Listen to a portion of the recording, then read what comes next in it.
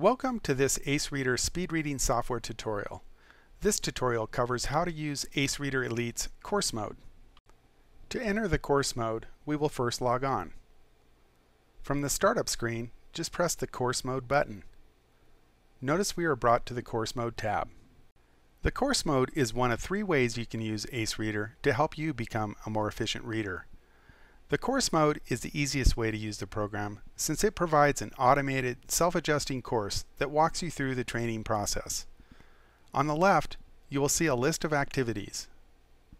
For each activity, there's a quick explanation of what you are about to perform over here on the right. To begin an activity, just press the Begin Activity button. Just start at the top of the course list and each day perform six activities in the order provided. Notice that each time you perform an activity, a check mark appears indicating that activity is completed. Each time you log on, the program will pick up where it left off. It could not be any easier since you do not need to make any decisions and the program will guide you through the training process.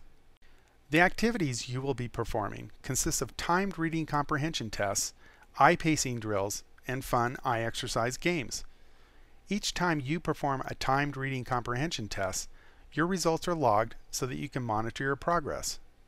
Here's another key and important thing that happens when you take tests. Each time you perform a timed reading comprehension test, the program also resets your base reading speed if you meet certain criteria, which includes a certain comprehension score. The drills will always auto-adjust to pace you at higher speeds relative to your current base reading speed. To monitor your progress, just press the View Test Results button. Notice your base reading speed is listed at the top. Again, the drills will always auto-adjust to pace you at higher speeds relative to your base reading speed. This screen provides you with a table that includes your reading speeds and comprehension scores, along with additional information. You can press the View Graphs button to view graphs of both your reading speeds and comprehension scores over time. Notice there is a Filter Options button. This allows you to tailor what test results you see. It's reasonable to keep all the defaults. You can change the filters by unchecking this checkbox. Typically, you want to filter out test results for tests that you have canceled or repeated since you typically want to monitor how you do with tests that you are taking the first time. You can filter out test results that are super slow. For example, you started taking a test and you were interrupted and maybe even walked out of the room. You can filter out test results that are super fast. For example, you started taking a self-paced test and then did not read the story but hit the Done button right away. You can also filter out test results that did not meet a certain comprehension score. You can turn off all the filters if you want by selecting the View All Test Results No Filtering option. You can also set a goal for your reading speed. Your goal allows you to keep track of where you are relative to your goal.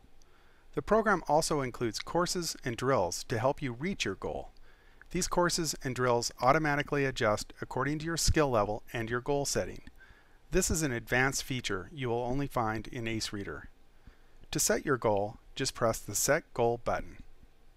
You can set your goal speed, and notice that we provide you with a chart of typical and optimal reading speeds to help you determine a realistic goal. Here is one more important feature to point out. Notice over here we show you your current course, comprehension test theme, and text complexity level for the tests and drills. If you want to change these options, just press the Change Course button. The course option is how you specify the pacing method for the drills. You can have the drills pace you to double your current speed, triple your current speed, or you can have the drills pace you at speeds between your current speed and your goal speed. You can specify a comprehension test theme. In addition to the general theme, we have the following themes. American history, Earth and space science, famous people, fun facts, and even SAT ACT test prep. Having these themes to pick from is great, since you can learn interesting educational material while learning how to be a more efficient reader. And finally, you can choose from 13 different text complexity levels. The levels have been determined by running the text through common readability formulas that grade leveled the material. but we think it's more appropriate to think of the levels as complexity levels instead of grade levels. Keep in mind that newspapers are written for adults and newspapers are typically at about the 5th or 6th grade level. We typically recommend that you start with levels 1, 2, or 3 if you are in grade school.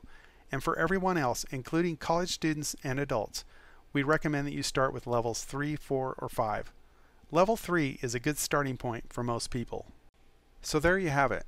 We covered a lot of material since AceReader has a lot of options. But the important thing to remember is that all you need to do is enter the course mode and perform six activities per day in the order provided. That's it. Also, to see how each of the activities work, please refer to the separate videos we have put together for each activity.